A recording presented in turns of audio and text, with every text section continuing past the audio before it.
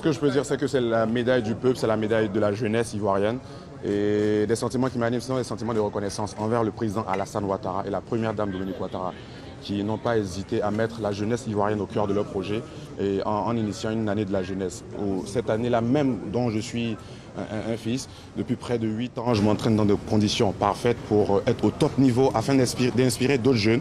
Et je suis quand même très reconnaissant. Et aussi reconnaissant envers la, jeunesse ivoirienne, la population ivoirienne qui me soutient, qui voulait vraiment que la Côte d'Ivoire ne parte, pas de Paris sans médaille. C'est vrai, ça m'a mis un peu de pression, mais je pense que c'était quand même quelque chose de bien. Et voilà, la Côte d'Ivoire revient avec une médaille euh, de bronze aux Jeux Olympiques avec 13 athlètes. C'est quelque chose de très positif.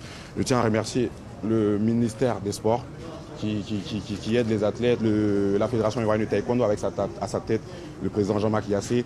Et aussi merci aussi à tous ces ministres-là qui sont là aujourd'hui, le maire de Boaké et ma, ma tante. Et je suis vraiment très fier d'être dans mon pays et très, très impatient de profiter de cette médaille, de cette joie avec tous les jeunes Ivoiriens.